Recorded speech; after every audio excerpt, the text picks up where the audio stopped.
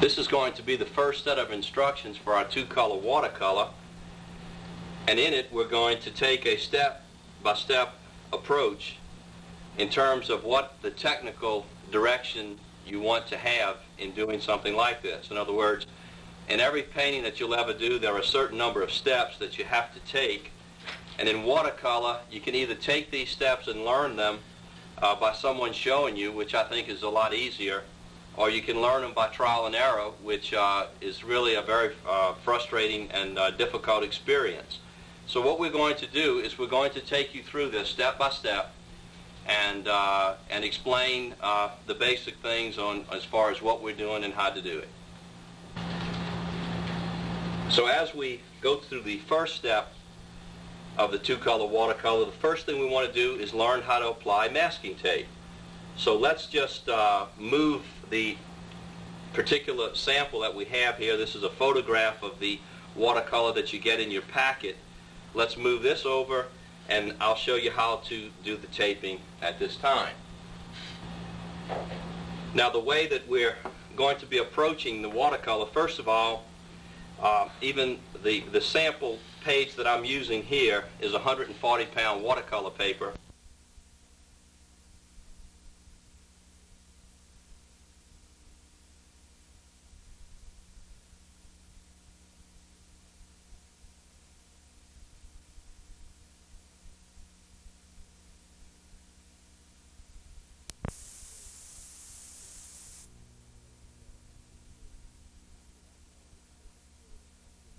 Pound weight such as you're using because it allows you to wet everything down a lot more and the paper does not buckle. Okay, now what we want to do is put some masking tape around the edges and the first part we're going to do is going to be the sky up here. Okay? This is what we're doing. And uh, so in order to do the sky and have the edges around the barn and uh, in this area here nice and crisp, the first thing we're going to do is apply masking tape.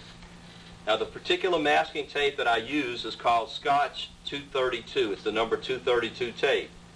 And I always try to apply it where I cut it as least as, least as possible. Now it always concerns a lot of people uh, when you put something like this on it, on it and cut it with an X-Acto knife.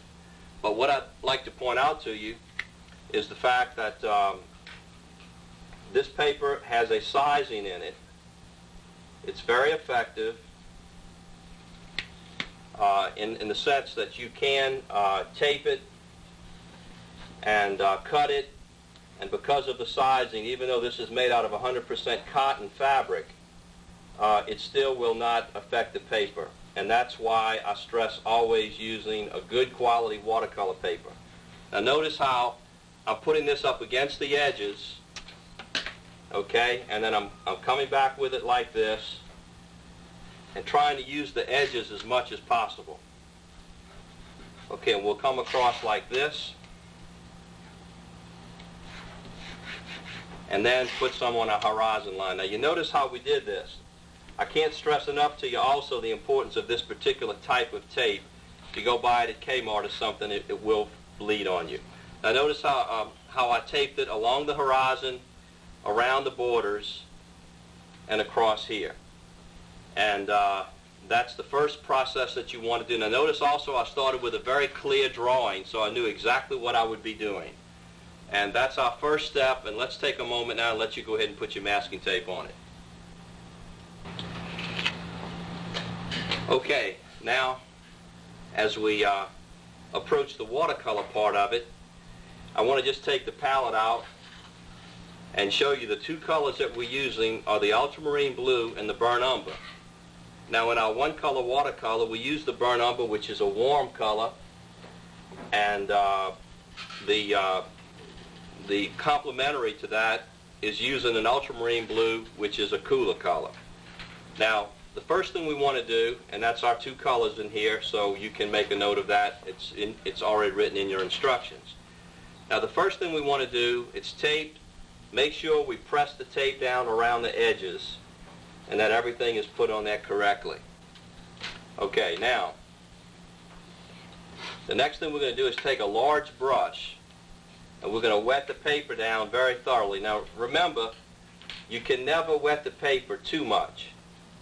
The biggest problem people, most people have is they wet it, they don't put enough, uh, they, they wet it too little. They just don't put enough water on it. So let's uh, begin by wetting this down very thoroughly. Okay, now, I'll just move this over here because I think we can watch it on the palette. We're going to take the ultramarine blue, which you won't see this very good on the television, but the ultramarine blue is going to be a little bit bright by itself. So we'll take a little bit of the umber, just enough to tone it down. and take some of the harshness out of it. And it gives it a little bit more of a grayish effect, but it still keeps the pretty blue. Now we'll mix this amount of color, okay? And as you notice on our scene, we have a lighter color across the back of it. Then we have a more of a middle tone, and then a solid umber, darker color in the background. So with the paper completely wet now, let's take the ultramarine blue. Now you might want to use the bigger brush to apply this. Now the first thing, I put this on here a little bit darkly. It's not a problem because if we have to, we'll just move this down like this. And bring it across and you can really just paint this part of it like you're painting the side of a house. Now again, this isn't going to show up a whole lot and that's just what we want, just enough to barely tint it.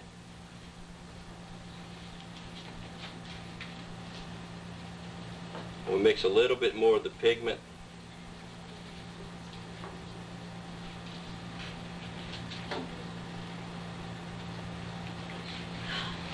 Now that's a little bit dark again.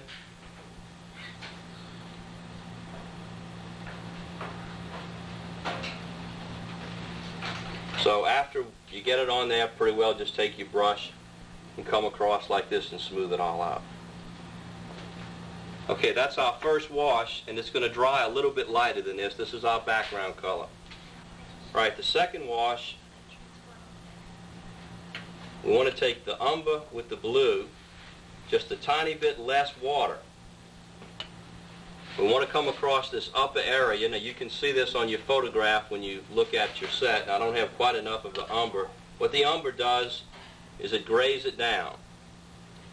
So we'll put a little bit more, and I'm trying to show kind of a foggy line in the distance here. So we'll do that and bring it down a little bit more. we'll actually put an area across this section and across this section here. A lot of people wonder about, about where this barn came from. And this is actually a barn that used to be located on a friend of mine, Dr. Zeke Ducote's place uh, next door to him in Lafayette, Louisiana. And I took a picture and sketched it about 20 years ago, and a lot of students wonder where it originated. It was later torn down, and the cypress was used by someone to build another home. Okay, now that's our second layer. Now notice all of this is being done wet on wet. We did the lighter blue, then we did the middle tone blue. Now we're going to take the pure umber and just come inside of here and move it around. And that's a little bit darker than I want it, so I'll just clean my brush here and lift it up a little bit.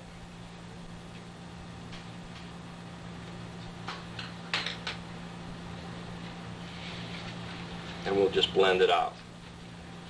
Now the one unique thing that you're going to notice about this is that it will have a tendency, because the blue and the brown are chemically different, they'll have a tendency to separate. So if you'll watch it, you'll see that the blue and the brown up at the top, particularly, depending on the conditions of the wetness and the amount of pigment, but many times they'll just separate and start running in each direction. Now we'll come over to this side. Likewise, put the umbral along the base of it. You can use your reference picture to help you see this a little bit more clearly. And notice I just go across the tree and everything. Work a little bit of that up into it. But primarily look at your photograph and even at your painting, you might see some of these colors separating It makes an interesting effect, and what actually happens is that some of it goes into the pores of the paper, and other parts of it sit on top of it.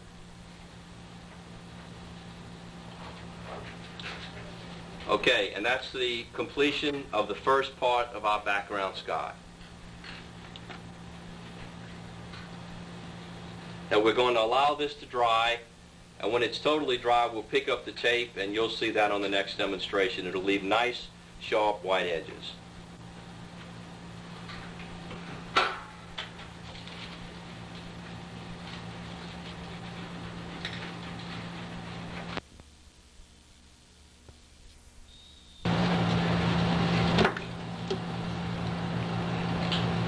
Okay, we'll begin the next portion of our illustration here, uh, our demonstration of this two-color watercolor by looking at it once more with the tape on it. Now, this is a little lesson that'll help you in removing the tape. It may not seem like it's a lot, but you want to be careful when you're pulling your tape up to make sure you pull it away from your painting in the sense that you don't dig the knife into it or if you have cut on it, just be sure that you don't lift up a lot of the watercolor paper. That's what will actually happen sometime if you're not real careful. So like where this tip right here could possibly create a problem, I just take my time and we'll just pull all of it up like this.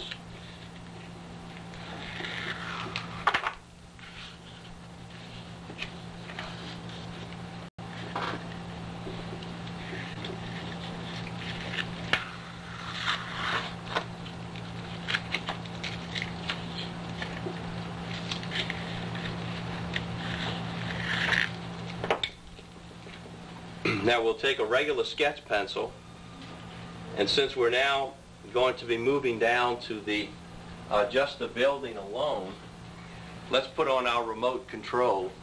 Y'all never saw a remote control like this one before. And we'll just move on we can see the entire building a lot more clearly. Now, what we want to do at this time is sketch in the roof. Now you should already have this sketched in pretty well on your uh, painting. And the rest of it's going to be done very flatly. Okay, we're going to take this and we're going to mix the blue and the brown. Now in the shadows, you always want to have a little bit more blue in the lighter areas, you want to have a little bit more brown. The blue is a cooler color, which you'll have in shadows, and the brown is a warmer color, which uh, you'll tend to have in the light areas. So we'll get, get it to be kind of a grayish, a brownish gray, and then we'll just come down and put a flat wash over it like this. Go straight across. And notice how I'm using that flat brush. And you'll learn, it's like a sign painter. Most of you have been accustomed to just using very tiny brushes. And it's mainly because you're a little insecure and afraid to make a mistake and a little unsure of yourself. And what we want to really teach you in this lesson is that in the, the initial washes, you want to use the largest brush possible to cover your flat washes. And then as you progressively put in more detail, you just add more and more detail to that. And we'll put a little area breaking it up at the bottom. Now, you, you're going to have a problem with this initially, getting it to come out uh, as uh, smoothly as I do, but that's not a problem, and just work it the best way you can. Now, on the roof by itself, just take a light tone of the umber and you'll notice there are areas on the roof you can look at your photograph and see where I have some of the tin area is completely covered and then other sections are left white. So what we're going to do is again, notice how I'm using that flat brush.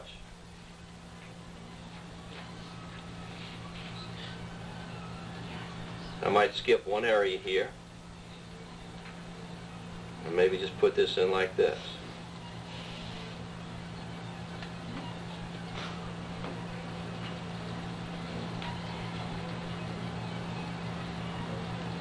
I'll go to my next section.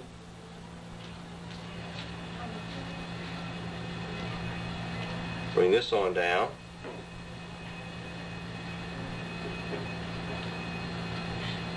And this entire back section here is going to be pretty well covered.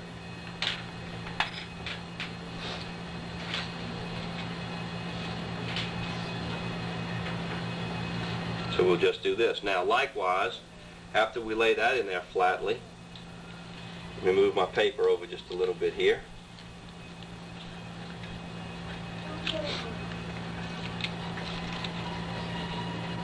We want to come in around the base of the building. And notice I'm still using that flat half-inch brush.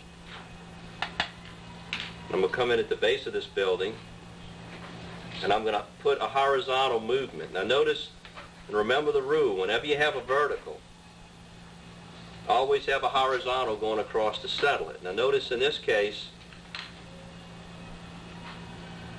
how I'm uh, leaving some of the white areas in front of the building. That works out very fine. Okay, now, after this point, we'll just layer in our basic washes on the building. And let's take our camera back up again.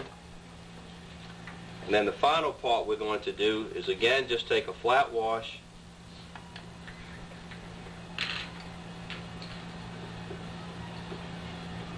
go across like this.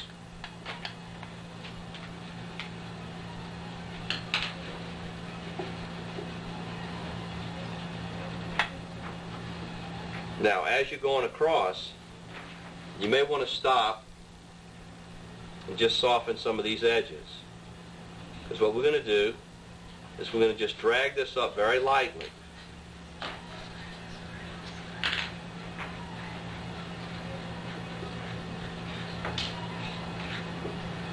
Now we'll step back down, continue across again, and remember you want to put this on very lightly. And this is a, a bank on this particular, uh, by this bayou, or creek, whatever you want it to be. But notice as I come up with my horizontal lines, even though this is at an angle, I'm going to come up and make it get lighter as it goes into the distance, but notice how I'm dragging all of my lines across to match the horizon. Later I'll make some of the, the darker areas curve against that. And likewise, I'll just pull it up around this side over here and just fill in this area right here.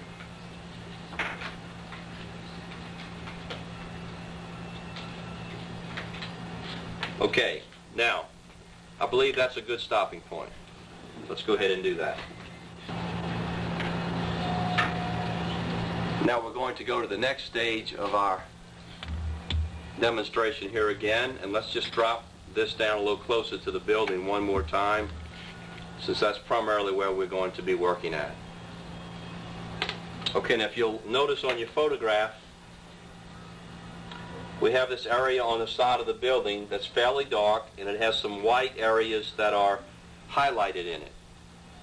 Now the way this was done is after I painted the dark in, I came back and I scraped these highlight areas out.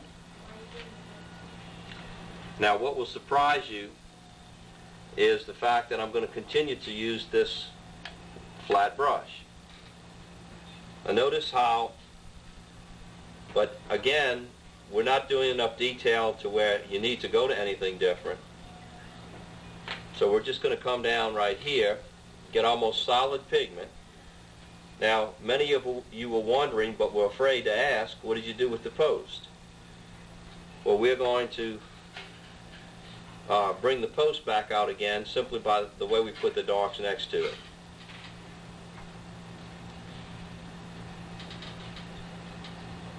So we'll come down so far with the darks on the shadow area.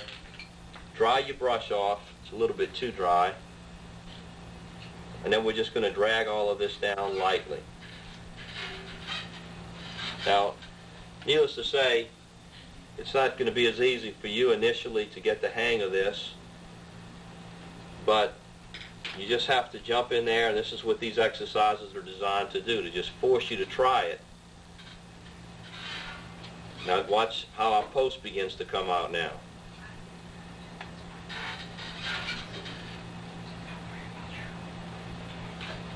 Again, we'll do this very darkly.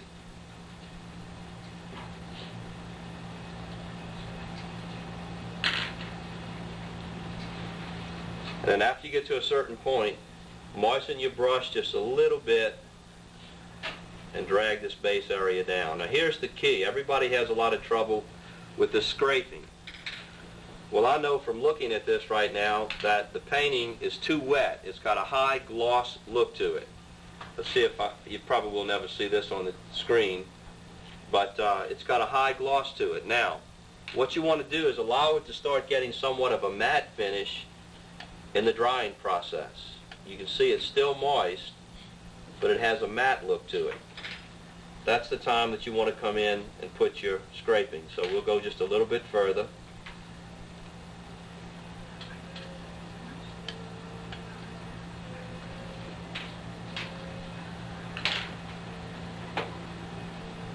Bring this down a certain amount. Look how those posts jump out at you. Then you dry your brush off again. And bring this down like this. Okay. Now, I can look at this, this first part and see it's still relatively wet. And sometimes your humidity will govern this. Now, when I start to scrape it, nothing happens. happens.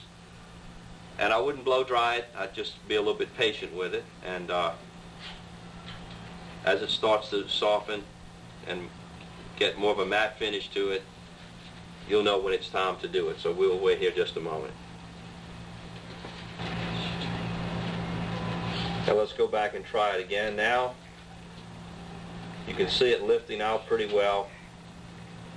It may run a little bit, which is okay. But this is a medium where you really have to learn to be very patient. Now, um, notice how I'm tilting that blade over quite a bit. That's why we use this particular X-Acto blade. If you use a blade that's not this, uh, has this type of an edge on it, if the edge is too sharp, it just won't scrape it. Okay, that's how we put that part of it in it. Now, we'll go one step further in this stage, or perhaps a couple of steps, and we'll turn it sideways. And we're going to do our eave now. Now we'll go to our number 8 brush, which is the one that we're using here. It's a round. I think you can see that fairly well.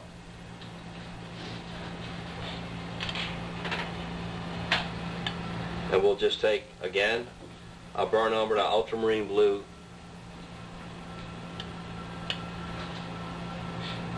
And we'll do this rather rather darkly.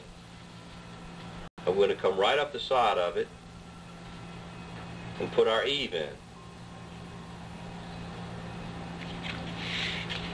We'll come up like this. We'll bring it down like this. And then this is actually the side of our building coming off this edge right here. Now this is almost solid pigment and so it isn't completely dark. After we bring it down to this point right here, let's just soften this a little bit. And allow a little bit of reflected light. Everybody remembers what that reflected light is. We'll let that come out. Now, you don't see a deep shadow like this on the side of a building. So what we're going to do is just take our brush and we're going to just gently soften that eave. Now, a lot of people don't like this comment. They think I'm being funny or trying to be when I say it. But we have a name for this at the Baton Rouge Fine Arts Academy. And that is you put your eave in there very darkly, and then you soften that edge and drop it down. And we call that eavesdropping.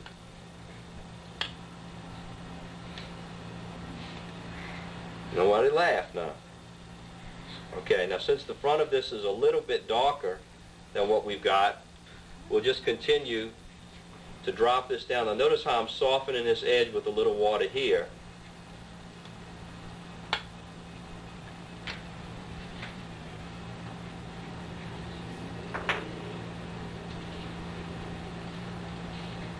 And just drop it down like this.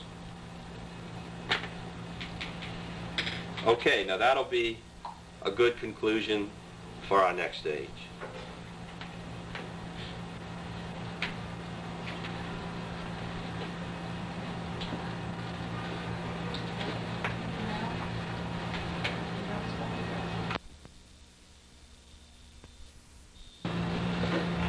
As go to the next part of the front of this building, I want you to notice how some of the lines on the boards uh, are missing. So what we've got is actually a double door in the front of this. So even though it may be a little bit difficult to see it, I would at least like to go back in and put some of my basic lines in. Now if you'll look at your line drawing that you originally did, I could almost do it by memory. But if you look at your original line drawing, you'll see that uh, that's the one you transferred from, that the, uh, the what the lines look like. Now, if you lose your lines, you, you really have to go back in there and put them back in again.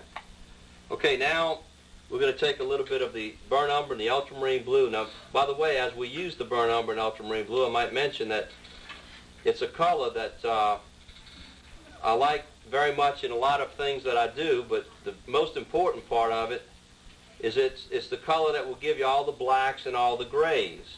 And I would much rather mix my blacks and grays uh, rather than using gray because you'll have gray with color. All right. Now, we're going to come in and just put some fine lines. I have just use either a number 6 or a number 4 brush. And I think this is pretty clear. We're just coming down. This will be the door. Now notice I put a flat wash on in several layers on the front of the building. And notice when I drag the brush, I'm not trying to make perfect lines. I have the lines drawn, but I'm taking the artistic liberty even to lose them and find them again, and so forth.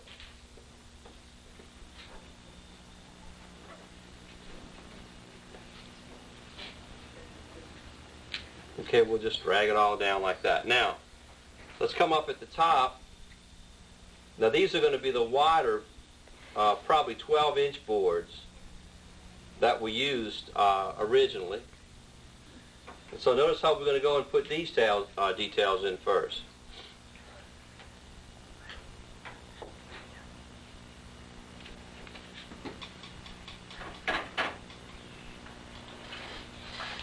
And again, I'm, I'm making sure that they're straight and that they go with a certain flow, but I'm not trying to make them all that perfect. Okay, now the unique thing about, uh, about doing this is that we can come back in after we have the boards drawn and we can actually make some of, make the boards individually by dry brushing certain colors over them. So in this case, I'm dry brushing a little burnt umber over here. I can mix it put some of the darker colors likewise coming up from the bottom doing the same thing. And, and you can just do a lot of things like this to create your different textures and so forth on here. So let's just go back and we'll do it a board at a time. And this is really going to be the basis of what you'll do on boards as long as you do them. Uh, the only thing a little bit later you will come in and uh, use different colors. Now I'll skip it around. I think the dry brush is showing up very well. And then some of it I'll just leave completely light as it goes up. Okay, now while I'm allowing that to dry, now we don't want to lose the uh, entire thing, but if you look at your picture, again, you're going to see a lot of dry brush. So what we're going to do is just come in and drag this brush across here.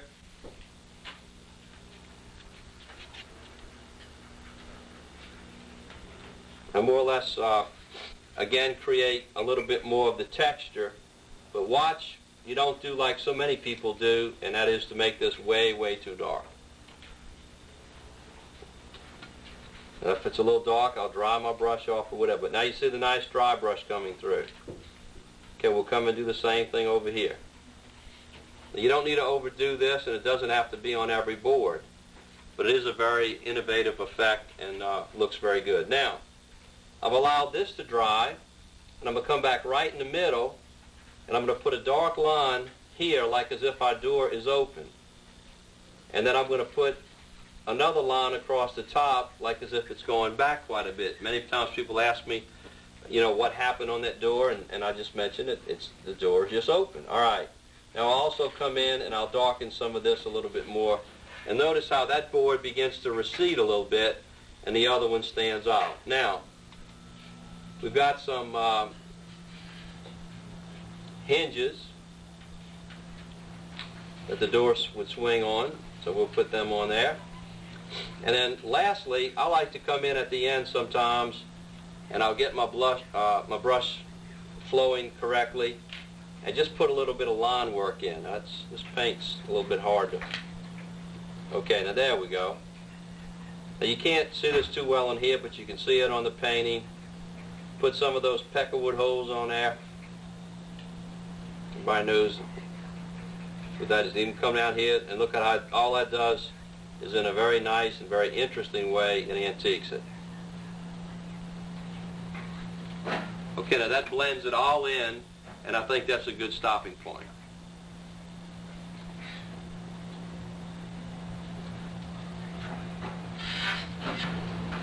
now as we're looking at this portion of it, let's slide this over now. And uh, let's just do this portion on the roof. Now I think this is going to be somewhat of an education for you. Again, uh, because of the brush that I'm going to use and so forth. But I'll give you some little tips on watercolor. Now, Again, your lines might get lost a little bit when you wet them like that, so we're just going to come back in and uh, put those lines back in correctly. All right, now remember we went over the roof with plain burnt umber. Okay, I'm going to just start the same thing again.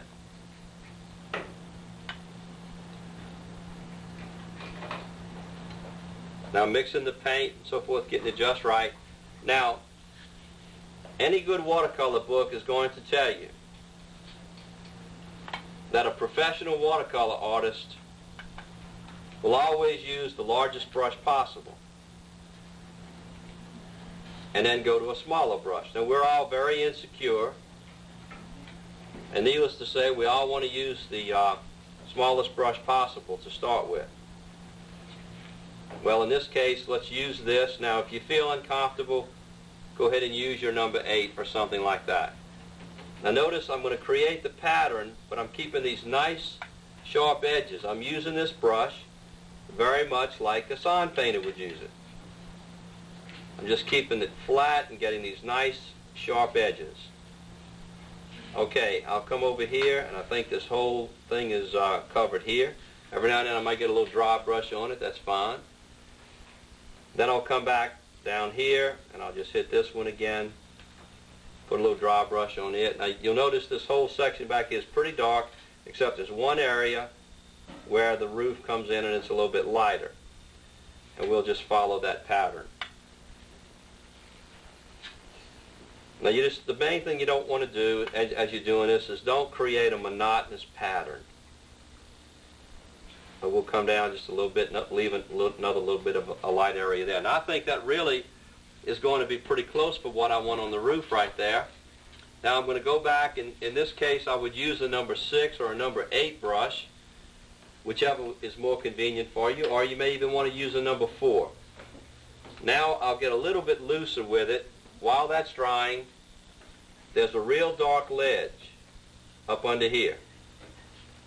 So I'm going to connect that, connect that. And notice how, as I wiggle that line a little bit, it's actually giving me the effect of the corrugation. Now I'm going to come back up here and I'll just antique the side of this a little. Come up like this. And then what's very important is to put some line work in. But notice when I put the line work, I'm going to drag it, I'm going to lose it. Straight lines are boring. So what we're going to do is we're going to come across, drag it, create a lot of lost and found, and do that. Okay, I'll come down, do this a little. I might want to sharpen some of these edges like this. It has a cap on it. So if you wanted to come in and do this, that's fine. Put your little line across the top. Okay, now occasionally I came in with a little line work on the roof, as you can see. Not a lot, but every now and then. And uh, you can carry that to whatever extreme you wish to carry it. And then last of all, I would I took a little bit of the uh, the darker tone in color and uh, just antique. This is just probably the plain burnt umber and antique the roof a little bit like this.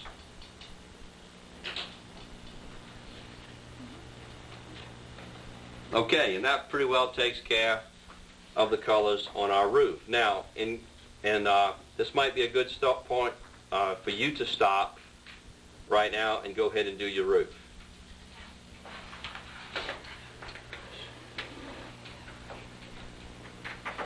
Now I'm going ahead to the next section because it's just going to take a couple of minutes and finish this part of it off. Now notice as I get to the back of the barn here, I'm just going to draw. Remember our pencil sketching, pencil broadsides? Look how I did that with just almost one stroke. Switch it on the other side, and I'll do the same thing again. Now you don't have to worry about coming out looking exactly like this one or that one. If I have areas that I can do this in, there was a support underneath there that would generally look like that. That's what I would put on there. Okay, likewise, I'll come back and uh, where this might be a little thick now, I'll just uh, make it slightly smaller, like that. And then last of all, with a larger round brush, 8, 6, whatever you feel comfortable with, I'd come back in and I would really make my darks against the building quite seriously. So we'll put the darker section in like this. And notice how I'm just going for a particular effect. And uh, at this point, I think it's good to be a little bit loose. Now, the main thing that these darks are going to do, uh, okay, that's that one side of it there. Excuse me, that wasn't on the screen. I've got this close up because I think you can see it very well. And we'll just come along this other side and we'll do the same thing.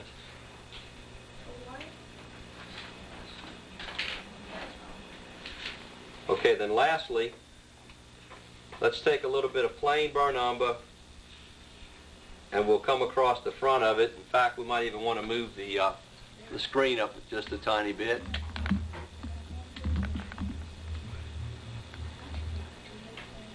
And capture the, uh, let's not go any further because I don't want you to miss this detail.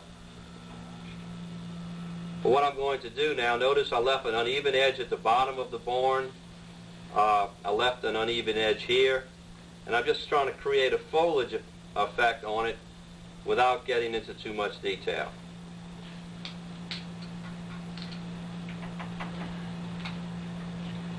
And uh, mainly, again, remember, we're not trying to cover everything.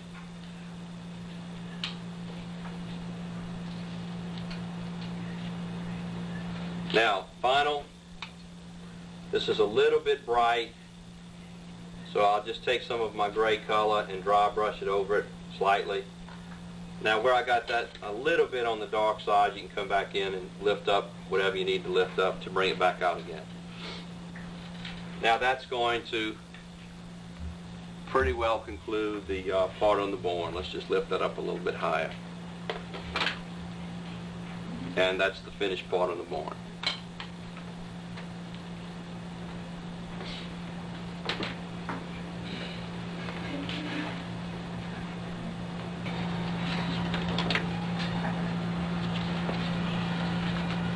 Now going to go to the next portion of our demonstration here, which will be uh, the area where the land begins to end, comes down a bank, and uh, we'll take our ultramarine blue and burnt umber with our flat one half inch brush again, and we're pretty much going to use the density of the darks that we have in here. And if you look at your photograph, uh, anywhere I have something like this, I'll have the darker tones like this, then I'll repeat the bluish looking tones in this, and then the bluish tones in the tree, you see. And that's how I keep the density in the darks and all of the other things I'm trying to do. Okay.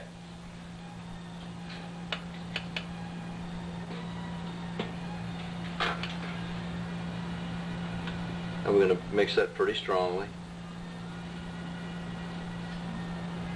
And actually the first time, now let's see if we can do better than that. Boy, I thought I was going to have to put a bird on that one, Dave. All right.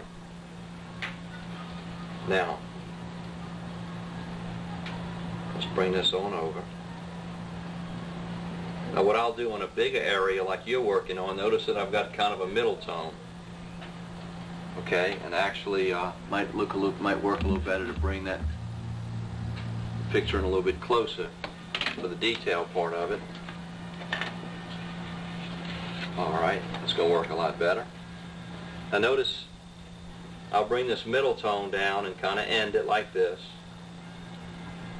And I'm going to clean my brush. I'm going to work these grays into here. I want it to look like that bank has been eroding and this just kind of comes across like this. Mm. Now this is going to be pretty wet. So before it starts drying I want to soften that edge. We'll come out here and we'll do it again. We're about to run out of the picture, so this is a good place to stop. I can pick it back up again. This is this way you can see the detail a little bit better. All right, take my brush. Notice I'm just fading that out into the brown and doing it parallel to my horizon line. A lot of people do it on a slant or whatever and it doesn't look as good. Some of this was a little bit on the wet side, so if that happens, it's no big problem. I'll just take my brush and lift it up a little bit and just still extend it out like that. So you have a lot of flexibility playing with this when it's wet. Okay, now since it is that wet, I'll bring the rest of it over here like this.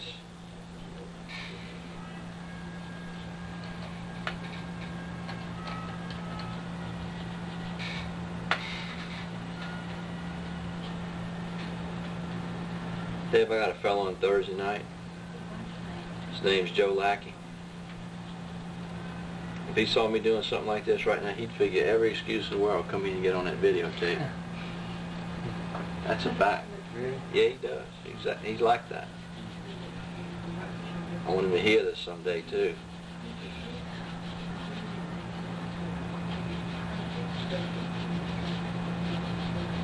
Okay, and you see again, I'm just hitting this pretty roughly.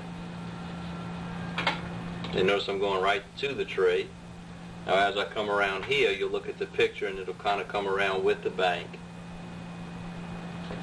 Okay, that's enough on that right now. Okay, uh, now that I've got it to this point, now I'm going to come back and you notice how all of this has worked pretty moistly. So you may have a little trouble getting it to flow exactly like I'm doing, but main thing is while it's still wet, I want to come back in and I really want to use solid pigment.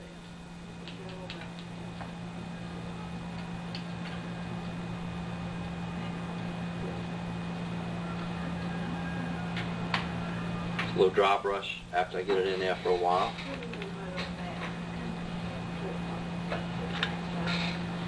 See if I can get a little bit more light. I'm, I know what it is. I'm catching some glare on this thing.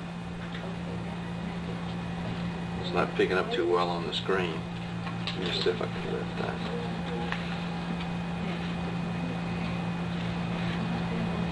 Okay. Now you see you can even bring these edges up a little bit, but I want that to be solid. So don't be afraid to go back in and really work it. Now, this is taking a little bit more time than normal to dry. And I don't know what the atmospheric conditions are, but if it's high humidity, that will affect your drying time.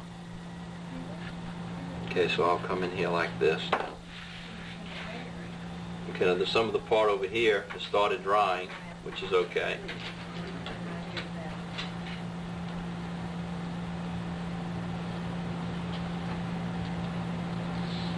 You see some of that I didn't get dark enough, so I'll just... I really was having a little problem with the glare. I think I've got it a little bit better angle now.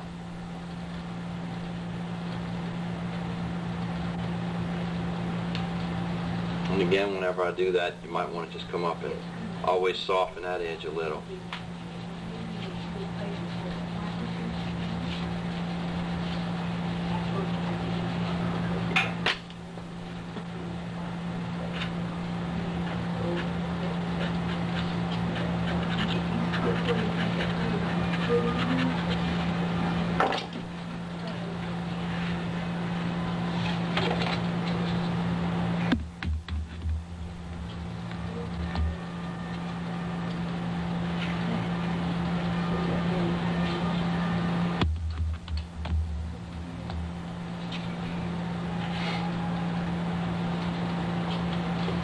Okay, I believe that's pretty clear on our next section. I'll let you go ahead and do that. And after that, we'll do the trees. Then all we have is the water left, and you finish it. So it's pretty good to come from the beginning where you started uh, to doing the full watercolor in th- almost three lessons. Huh?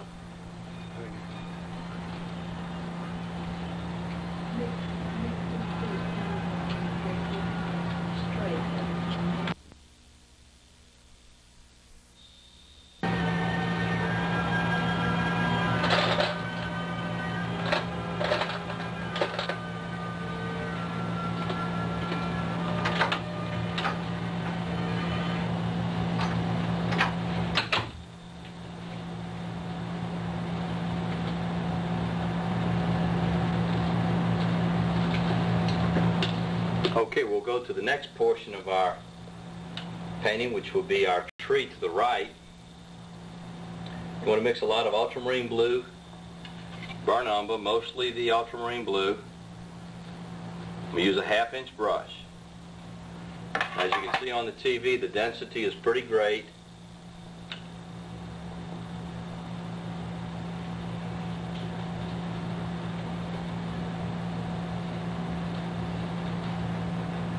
We'll just drag it down. Now as you drag it down, you can notice it's pretty opaque. And that's the whole idea. And I purposely allow some of the edges to be a little bit jagged. Now notice how I'm allowing for my post on the right.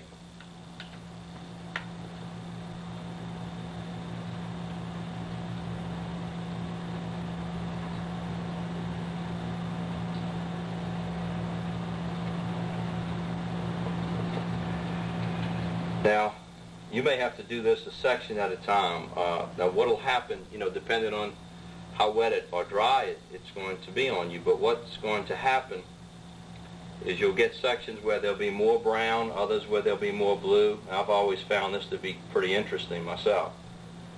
Now, that's really pretty dense. Okay, now it's still got a little bit of a glossiness to it. So before I start doing my uh, final scratching and so forth on the trunk, I may want to put in some of the major branches. Now, use your number 8 or a number 6, number 4 brush, whatever you feel comfortable with.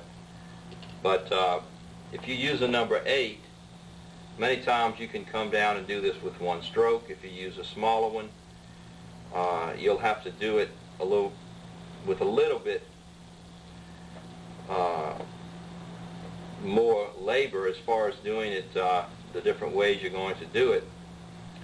But by that I mean just having to do it in several strokes, but you can control it a little bit better.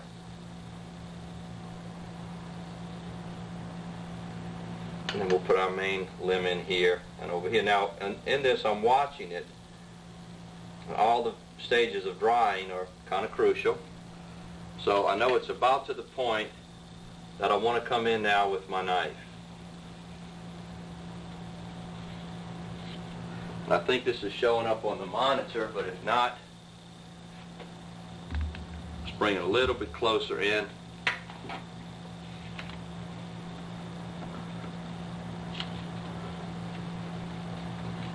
Move the painting over like this. Now, I'll even scrape out a bigger area. I think you can see that detail a little bit better now. We'll even bring it a little closer than that. Okay. Now notice how, as I lift it up, it's coming up very naturally, very easily.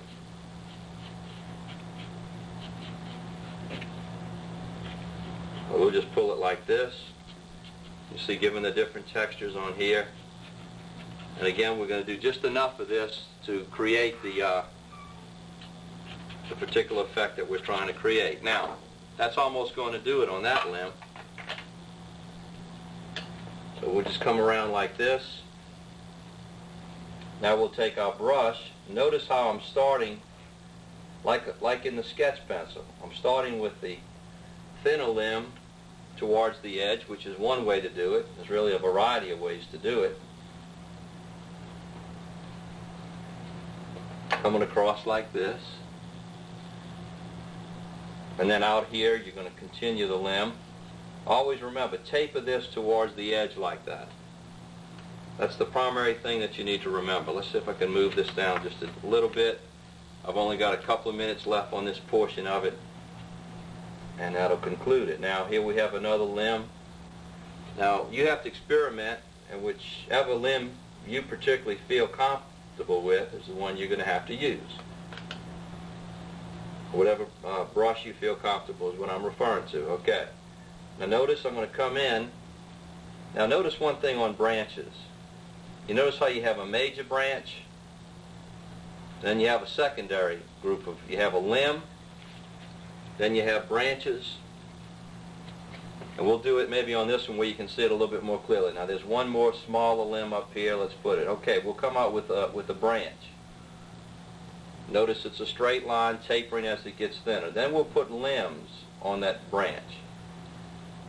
Now they're going to be thinner, but notice how they're spaced. Then after the we put the branches and then we put the limbs, we'll put another level like this. We'll call them twigs. And then the final part, you'll see a lot of dry brushed areas around the edges of your trees many times. If you want to go that far with it, we call that twigettes. Okay, now the final thing, uh, and then we'll close this part right here. Be specific. Trees are not that easy to do. There's always jillions of little bitty branches, so get your brush uh, down to a point that uh, it's the, the, everything's relatively uh, the water's rel and the pigment so forth is such that you can put some relatively light lines on it. And then we'll just come in and put a lot of these little small branches that kind of fill the area up and really create the interest that we're looking for. Okay, and then the final thing we'll do on this portion of it, that's our that portion of it completed. You'll notice in the background, mix, you, mix a lot of pigment with the water. Keep it rather thin. You've got some distant trees. Now make it look easy because that's what I'm get paid to do. Takes a little bit more time and effort to do it. And then use mix the colors, so forth. And just do that all the way across this background area, and that'll conclude this portion of our demonstration.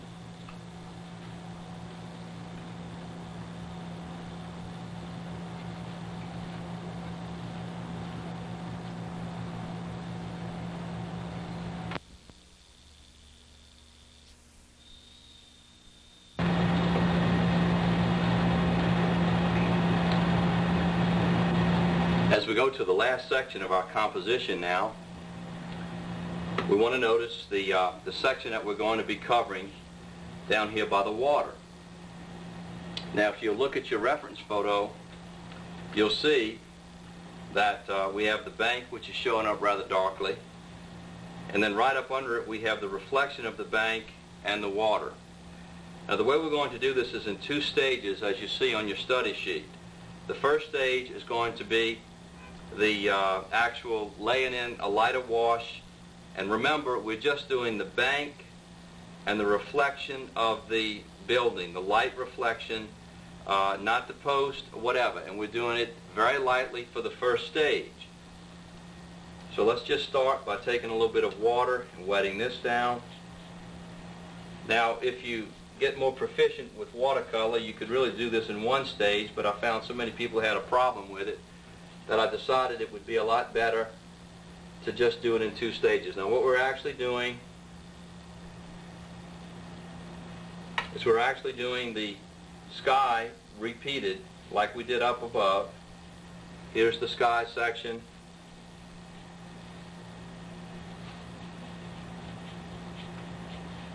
We'll come in like this with just a very, very light wash.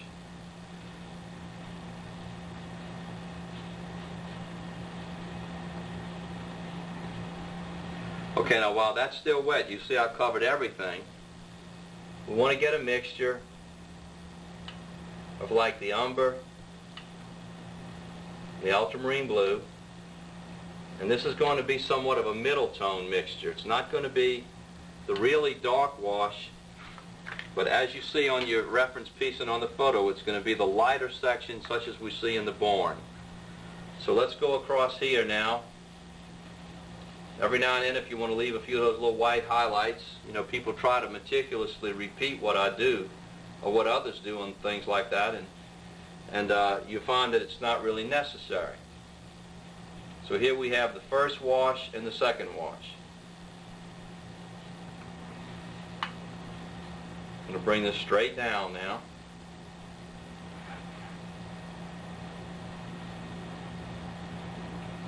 And notice I'm going directly below the barn. You see how this lines up with this, this lines up with this.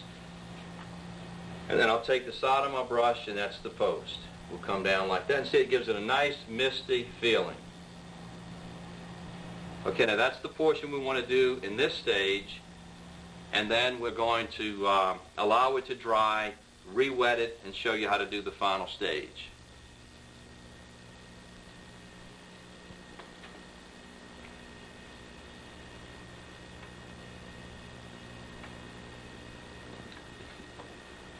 now for our second stage on the water, notice how I allowed this to completely dry.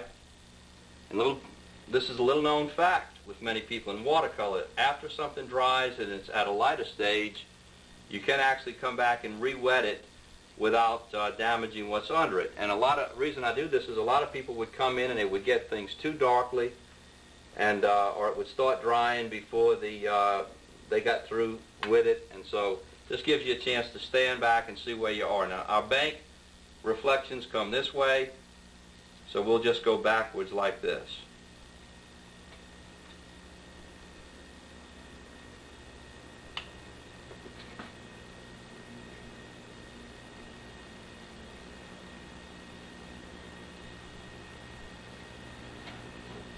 Now sometimes even after we finish the second stage, it's not going to be quite dark enough. Now as I, I get over to, over to a certain point, I might want to start just putting some little waves in it like this, you see. Now this is going to be the blue and gray mixture again, probably mostly blue, just like our section up above it.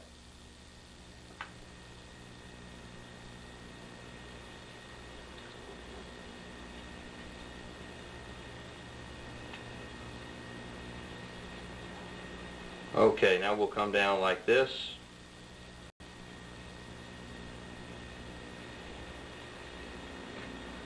And again, continue with some of these darker sections. Now, in the process of drying, notice how you get the nice soft edges.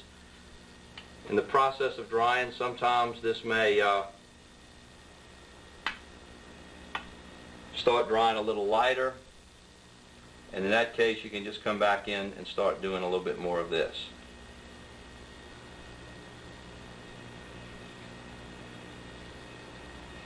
And uh, I lost some of, little, some of my little white areas in here, but you can still get the general effect, I think, of the water. Okay, and I realize we're picking up a few reflections on that light. Okay, now this is going to uh, conclude the first and second stages on the water. Now let's go ahead and do the final conclusion on the post and uh, complete the painting.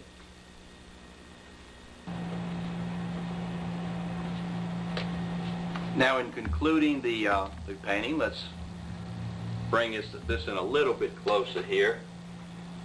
And uh, we'll move it up where it'll actually be where we want it on the screen. I want you to notice, I'll take my uh, ultramarine blue and burnt umber, and I'll put my first post. Now, notice how I'm going to drag that, leave a lot of interesting texture, and then I'll come back and I'll put my lighter grass area around the base of it. Now sometimes if that's not covering up or it's not exactly like you want it,